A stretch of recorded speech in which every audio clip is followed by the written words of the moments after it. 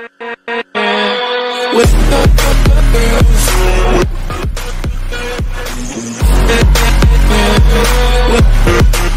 les clowns, c'est Jérémia, j'espère que vous allez bien. On se retrouve aujourd'hui pour une nouvelle vidéo, une nouvelle critique glauque. Certes, ça faisait longtemps, honnêtement, ouais. Mais bon, comme je vous l'ai dit de nombreuses fois, que je rabâche plusieurs fois, c'est que je n'ai pas énormément de temps de faire une vidéo parce que j'ai beaucoup de temps libre. Enfin, je me consacre beaucoup dans ma vie privée et tout ça, donc YouTube, ça reste une passion. Enfin bref. Donc, je suppose que vous avez d'idées de quoi on va parler, puisque je publie ces vidéos le jour même, puisque nous sommes le vendredi 13 mai 2022. Donc en même temps, je voulais faire cette vidéo en même temps que ce jour-là. Et donc, qui dit vendredi 13, bah, dit bien évidemment parler d'un film vendredi 13. Et aujourd'hui, nous allons nous attaquer au tout premier vendredi 13, qui est sorti en 1980, réalisé par Sean Cunningham, le tout premier film des longue saga, la longue saga de films d'horreur avec un slasher connu qui est Jason Voorhees. Sauf que dans ce film-là, c'est pas tout à fait la même chose. Je tiens à le préciser, c'est pas tout à fait la même chose. Mais je vais vous expliquer pour quelle raison, en fait. Vous ferez par comprendre tout le long de la vidéo. Alors, petit résumé du film. On suit un groupe d'adolescents qui décident de réouvrir le camp Crystal Lake qui avait été fermé en 1958 à cause des nombreux meurtres qu'il y a eu, comme des jeunes qui se font tuer à gauche et à droite, et aussi un enfant qui, qui s'est noyé dans le lac présent dans le camp. Donc le camp rouvre avec ces jeunes, grâce à ce groupe de jeunes, et du coup le cauchemar va continuer, va recommencer, vu qu'on va avoir de nouveaux, plus de meurtres présents dans le camp, et ça va être un bordel. Donc voilà à peu près pour le scénario. Euh, je tiens à préciser une chose, c'est que c'est la première fois que je découvre ce film-là, parce que j'avais vu un seul vendredi 13, mais je ne sais plus c'est lequel, parce que je l'avais vu quand j'avais 12-13 ans, ça remontait très loin, et je me rappelle plus, franchement. Donc il y avait un vendredi 13 que je l'ai vu, mais je ne sais plus c'est quoi le film, je me rappelle plus c'est lequel. Et du coup ici, ça me permet de replonger dedans, me replonger dans dans l'univers de, bah, Jason Voorhees, hein, de Vendredi 13, puisque c'est des films connus. Franchement, c'est la saga d'horreur connue avec un slasher. Et donc, voilà, donc ce film-là, je l'ai découvert. Il y en avait un que j'ai vu en étant jeune, mais je me rappelle plus, mais c'est pas trop grave. Donc, je redécouvrirai tout par plaisir, puisque c'est le but de la chaîne, de découvrir des choses par plaisir et de critiquer. Parce que le but de la chaîne, c'est comics et horreur. Hein. Bon, on a déjà plus à faire, on a déjà, fort à faire sans plus attendre, donc on va d'abord commencer, bien entendu, par les points positifs. La première chose que j'ai beaucoup aimé dans ce film-là, c'est qu'on a une vue subjective, en fait. Pour, quand à un moment, il y a certains plans dans le film où tu vois que tu es plongé dans le, comme si tu incarnais le tueur en fait. Genre tu vois ce qu'il voit, tu vois qui il est en train de tuer. Et je trouve ça juste incroyable franchement. C'est génial. Tu as l'impression qu'en fait là le réalisateur a fait en sorte à ce que les spectateurs soient coupables des meurtres commis par le tueur. Genre on veut nous faire croire que c'est nous le tueur dans ce film là. Ça j'aime bien. Parce que je, si je me rappelle bien dans ce film là, tu as 3-4 séquences comme ça où c'est juste génial. Après le reste c'est juste le tueur qui observe puis tu le vois se déplacer ou quoi que ce soit.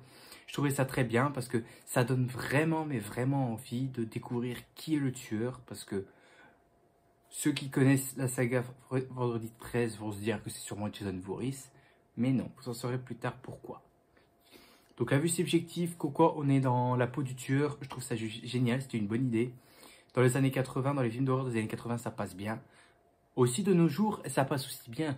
Mais attention, si l'ambiance est parfaite. Hein. Si tu mets une ambiance très glauque, sombre, avec une musique très flippante qui met du stress au spectateur, et tu rajoutes ça à la vue subjective, c'est parfait. C'est parfait, j'aurais rien à dire là-dessus.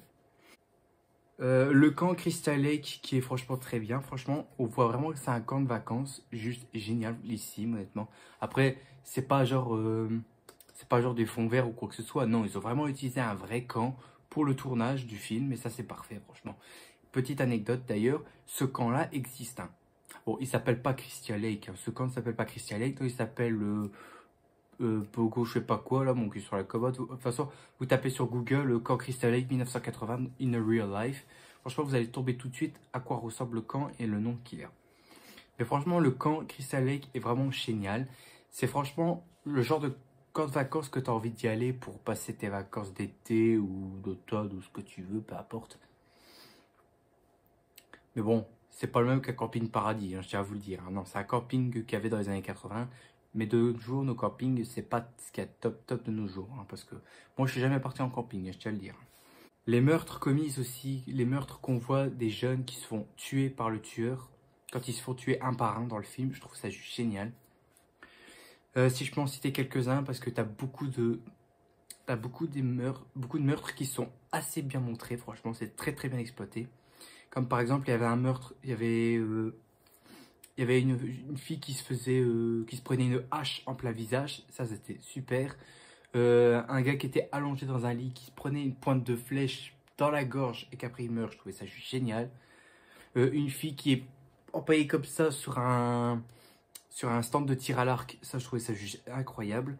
Euh, une fille qui est aussi... Euh, qui, est balancée par une fenêtre alors qu'elle est entourée de cordes. On dirait que quelqu'un l'a pendu ou un truc assis. Franchement, il y a des scènes de meurtre qui sont juste incroyables. Mais franchement, le plus... Le, plus, le, meurtre qui revient le plus là-dedans, c'est les personnes tuées avec un couteau. Genre trancher la gorge ou alors à plusieurs reprises comme ça, là. Euh, c'est la base, c'est la base, hein, parce que les, meurtres avec des couteaux, ça c'est la base que tu retrouver dans un film d'horreur. C'est pas souvent avec des balles, c'est souvent avec des couteaux. Hein. Ou des haches, peu importe. Euh, bien entendu, ce que j'allais vous révéler ici, c'est le tueur à la fin, que je m'y attendais tellement pas. Je ne pensais pas que le tueur à la fin, ça allait être une dame, une vieille femme âgée, qui fait ça juste pour rendre justice. Et cette femme, c'est nul autre que Pamela Voorhees, qui, je tiens à préciser, est la mère de Jason Voorhees. Donc voilà, voilà pourquoi ce film-là va, entre guillemets, faire démarrer tous les autres films, la continuité des autres films, parce que avec ça, tu comprends la violence de Jason. Et ça, je trouve ça parfait, parce que ce film-là donne une explication. Et maintenant, pour le reste, on comprend pourquoi Jason va s'en prendre à, tous à toutes les victimes qu'il va attaquer. Je trouve ça juste génial. Donc voilà, Pamela Voorhees, elle est juste elle joue très bien, franchement. Je pense que c'est le personnage qui est franchement très très bien respecté celui-là. Bon, c'est un personnage qu'on connaît. Hein. Si après, quand tu es habitué aux films d'horreur, genre comme les Vendredis 13, tu es habitué à ce genre de personnage-là. Hein, parce que c'est ce qui a inspiré Jason à devenir un tueur. Donc voilà, l'actrice joue tellement bien, franchement. Tu vois dans sa façon, quand elle regarde quand elle parle, que tu sais que c'est une dame que tu peux pas t'en approcher. Tu sais direct que quand elle te voit et qu'elle te regarde ainsi, et la façon dont elle te parle, tu sais direct qu'elle va t'attaquer. Elle va te faire un gros coup dans le dos ou je ne sais pas quoi. Et la raison que j'ai bien aimé aussi, c'est sa raison, la raison de tuer les jeunes. Parce qu'à un moment, elle explique pourquoi elle tue les jeunes. Tout simplement parce que c'est à cause des jeunes que son fils Jason s'est noyé dans le lac et que personne, mais personne n'est venu le sauver. Du coup, c'est une sorte de justice pour son fils qui a été on va dire entre guillemets, assassiné par des jeunes et que personne n'a tenté de l'aider. Ça, franchement, j'aime bien.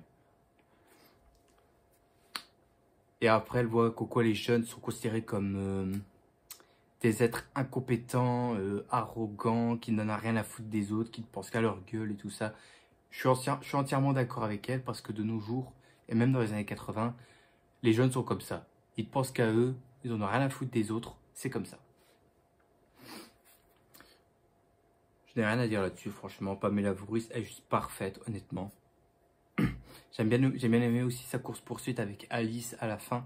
Bon, c'est pas au même niveau que la course-poursuite qu'on a vu dans Halloween, dans le film précédent. C'est pas la même chose, honnêtement. Dans le film Halloween, c'était beaucoup plus intéressant parce que c'était hyper noir et tout ça. Là, c'est pareil, mais bon.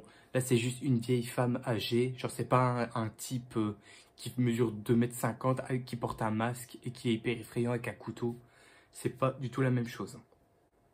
Ensuite, pour parler un petit peu de l'éclairage, honnêtement, l'éclairage est très très bien dans le film, même s'il y a certaines séquences où c'est très très très très très sombre et qu'il y a très peu de lumière, ça, ça m'embête un peu. Parce que, et pourtant, je, suis tout seul hein, quand je regarde des films d'horreur, je me mets dans le noir et je lance le film parce que c'est pratique pour voir euh, l'obscurité dans les films ou quoi que ce soit.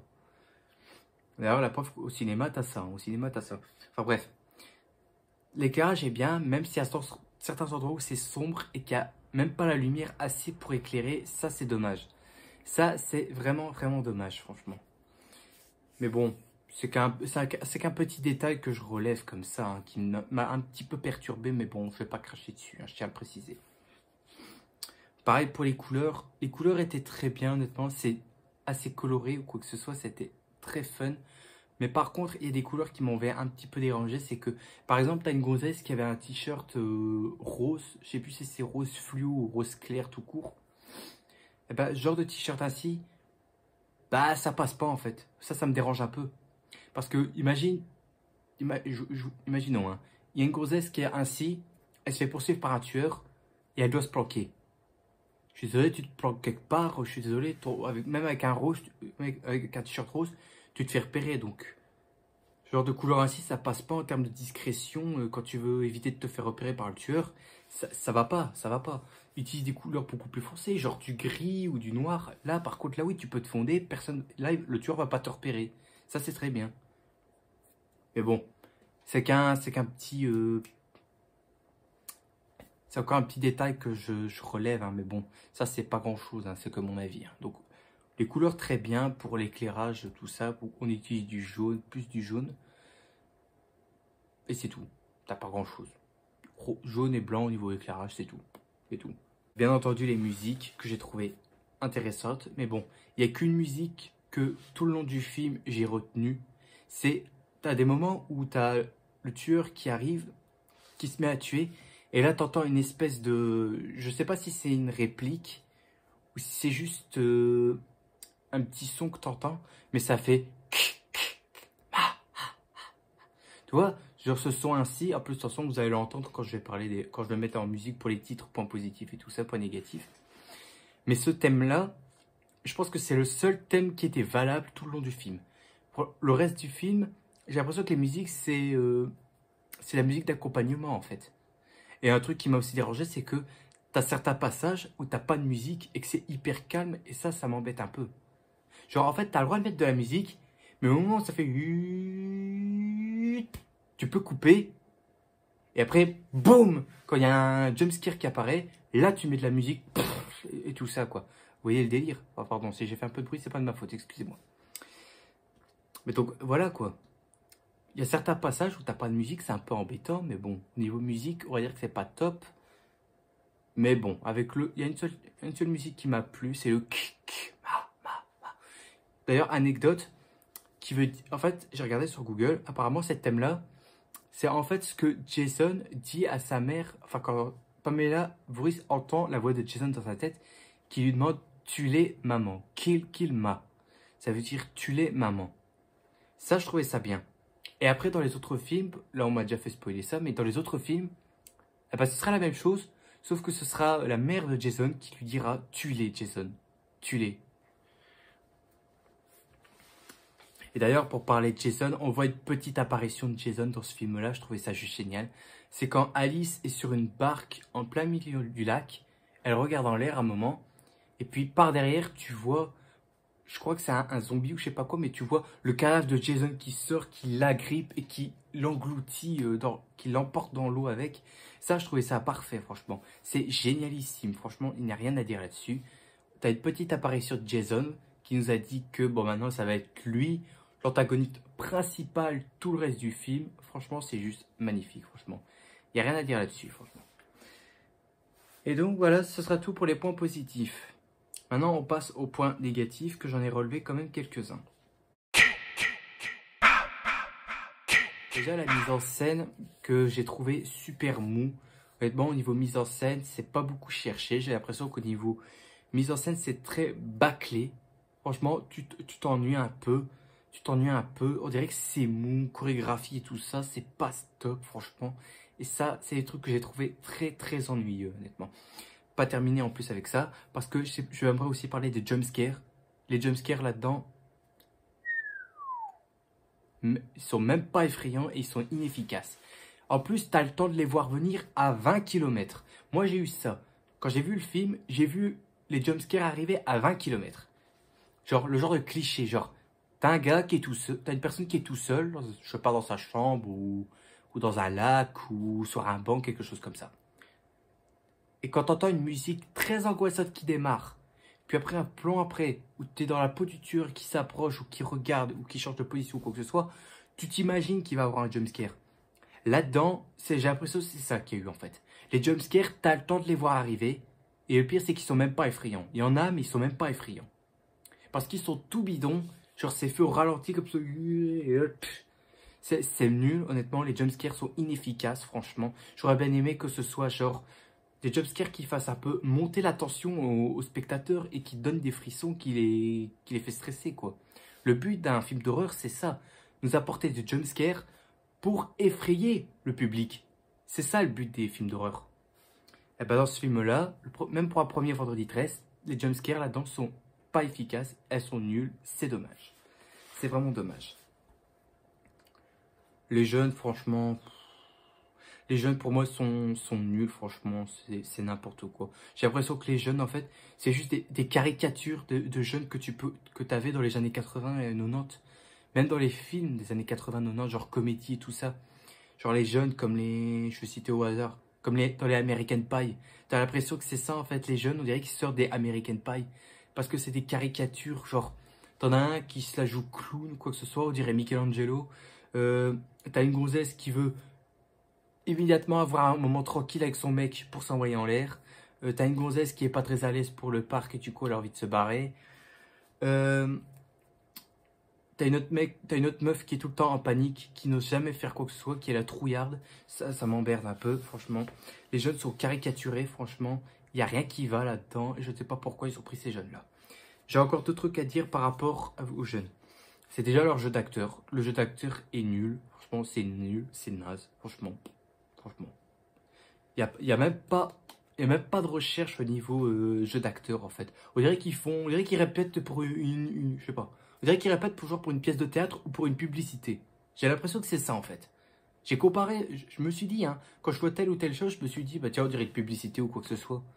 Donc pour moi, le jeu d'acteur des jeunes sont nuls. Franchement, c'est nul, nul.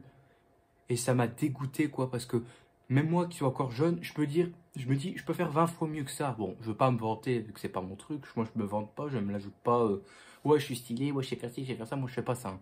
Je dis juste que leurs jeux d'acteurs sont nuls et que moi-même, je peux jouer 20 fois mieux qu'eux. Je peux faire 20 fois mieux qu'eux. Et aussi, autre chose, petite anecdote que j'avais relevée sur Internet, c'est qu'en fait, le réalisateur n'a même pas prévu les jeunes qu'ils allaient jouer dans un film d'horreur en fait.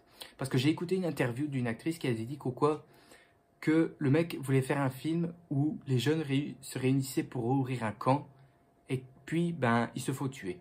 Elle a dit ça mot pour mot. Donc en fait le réalisateur n'a même pas prévenu les jeunes qui jouaient dans un film d'horreur. Eux, les jeunes pensaient qu'ils jouaient dans une comédie.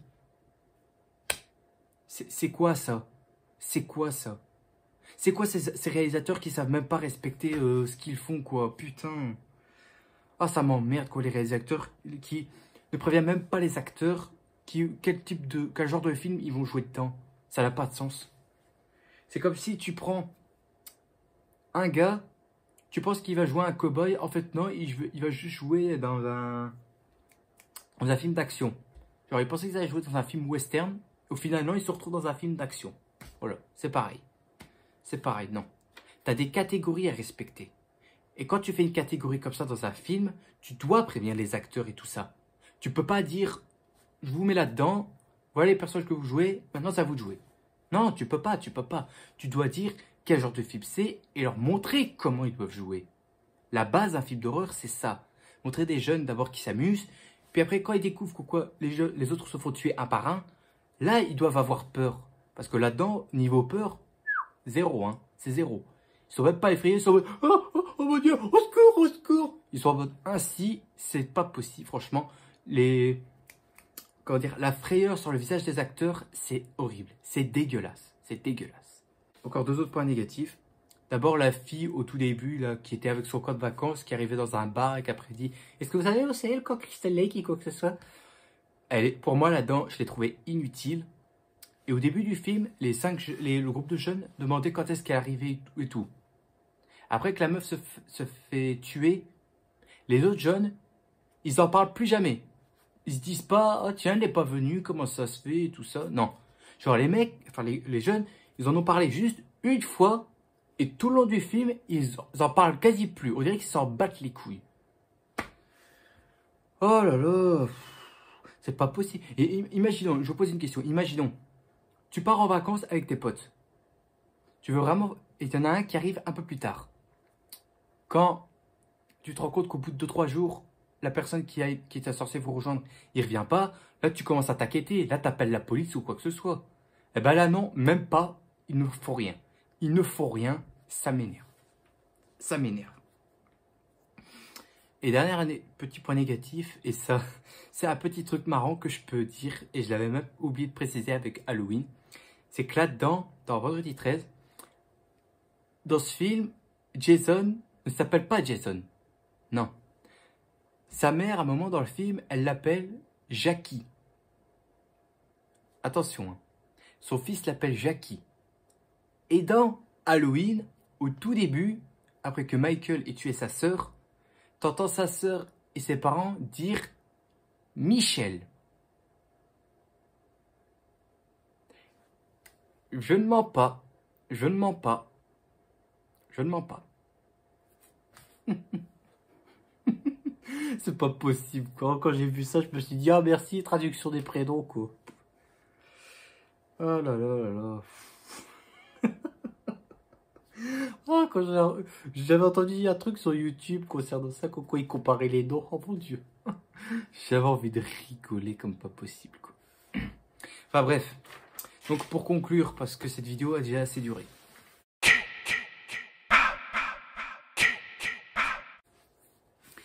Alors tout d'abord, oui, ce film est culte. Ce film est culte, oui.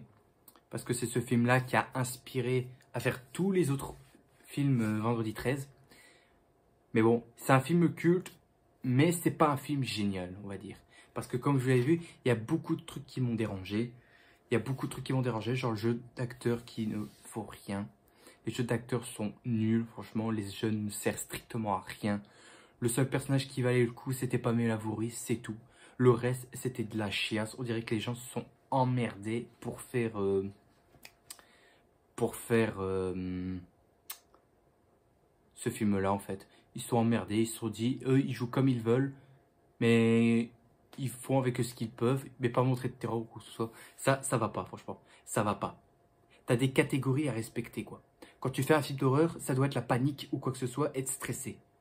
Quand tu te la joues cool ainsi et que tu fais des blagues à chaque fois, là, ça devient une comédie. Comédie et horreur, c'est pas la même chose. C'est pas la même chose. Je prends au hasard. Euh, une comédie au hasard. Les visiteurs.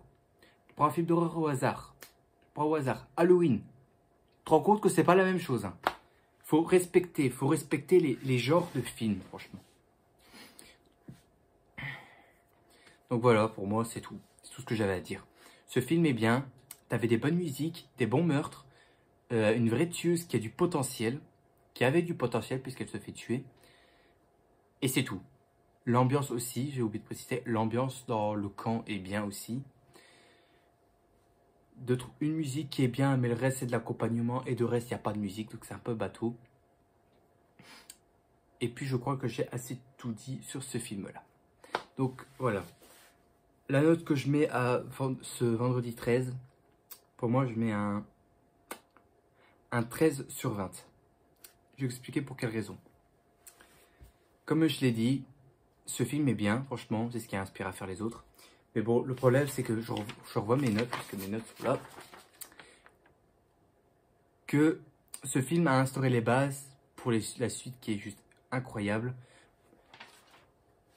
Même si, honnêtement, c'est un film avec capture correcte et tout ça, ça c'est bien. Même si, honnêtement, c'est pas... Comment dire Ça arrive pas à la cheville du premier Halloween. Ça, ça arrive pas à la cheville, en fait. Parce que tu me demandes de choisir entre un des deux, honnêtement. Je préfère voir, euh, voir Michael Myers qui tue des jeunes plutôt que de voir euh, un film là où tu vois des jeunes complètement cons qui sont caricaturés, mais avec au moins une, méchante qui est badass. Un truc aussi qui m'avait dérangé, que j'avais oublié d'en parler et que je redis vite fait, c'est que la différence entre les hommes qui sont des tueurs et les femmes qui sont des tueuses, c'est que nous les hommes, les hommes tueurs, eh ben, eux, ils tuent gratuitement et t'as pas besoin de trouver d'explication eux, ils tuent gratuitement parce qu'ils aiment bien ça.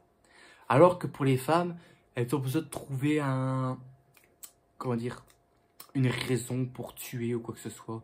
Là, je me dis stop, quoi, stop. Les femmes ont tout le temps besoin de trouver une raison pour faire ci ou pour faire ça, alors que nous, les hommes, nous, on fonce dans le tas. C'est comme ça que ça se passe, honnêtement. Et c'est pour ça que les hommes, les, les tueurs masculins sont beaucoup plus intéressants que les tueurs féminins. Je tiens à le préciser. Et bon, voilà, c'est tout. Pour moi, Vendredi 13 est très bien, malgré le jeu d'acteurs des jeunes dégueulasses, des personnages qui servent à rien, le tueur qui, va, qui valent le coup, une musique classe, un éclairage bien, le lieu euh, sur le camp est génial, vue subjectif, très bien, mais tout le reste, franchement, ça, ça, c'est à la poubelle. Tout le reste, à la poubelle. Voilà. Donc, voilà, un 13 sur 20, c'est une très bonne note pour moi. N'hésitez pas à me dire ce que vous en avez pensé dans les commentaires, ça me ferait énormément plaisir. Bon bref, j'arrête parce que cette vidéo a déjà assez duré. J'espère qu'elle vous aura plu, n'hésitez pas à vous liker et bien évidemment à vous abonner. Et je vous dis à la prochaine. Comment dire? J'oublie tous mes textes. Moi je vous dis à la prochaine. Et surtout, n'oubliez pas de sourire, puisque je sais qu'on est vendredi 13, mais surtout soyez prudents car il se pourrait que Jason Voorhees soit déjà là, en train de vous guetter et prêt à vous tuer. Allez, salut